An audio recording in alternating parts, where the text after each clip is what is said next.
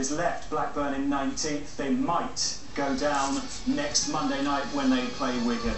It was a difficult 90 minutes for Steve Kean. We will hear from the, Blackman, the Blackburn manager when we return on Super Sunday.